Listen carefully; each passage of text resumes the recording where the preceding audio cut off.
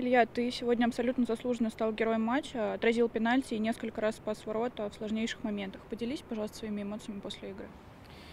Эмоции э, достаточно не такие неоднозначные, потому что выходили перед игрой, настраивались в раздевалке играть на победу, э, потому что ну, важная игра была, нужен был результат. Э, поэтому эмоции такие неоднозначные. Ну, наверное, не просто так мы сегодня при не самой однозначной нашей игре, не просто так мы сегодня заработали одно очко. Наверное, по, не просто так это все. По моменту с пенальти показалось, что ты уже прыгал в другую сторону и буквально в последнюю секунду достал мяч.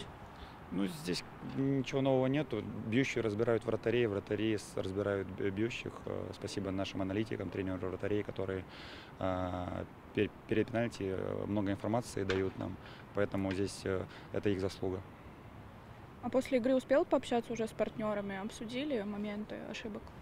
Честно говоря, сейчас э, лучше ничего не обсуждать на эмоциях. Завтра у нас тренировка, завтра мы обсудим, тренерский штаб нам все расскажет. А пока что на эмоциях лучше ничего друг другу не говорить. На поле не напихал им?